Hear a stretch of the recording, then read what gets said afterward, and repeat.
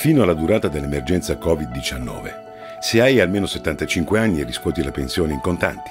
Se non sei titolare di libretto o conto corrente postale e non hai familiari vicino a te per garantire il prelievo, puoi delegare i carabinieri, che d'intesa con Poste Italiane si occuperanno del ritiro della consegna della pensione direttamente a casa tua. Chiama la stazione dei carabinieri più vicina o il numero verde 855 6670 e chiedi come sottoscrivere la delega.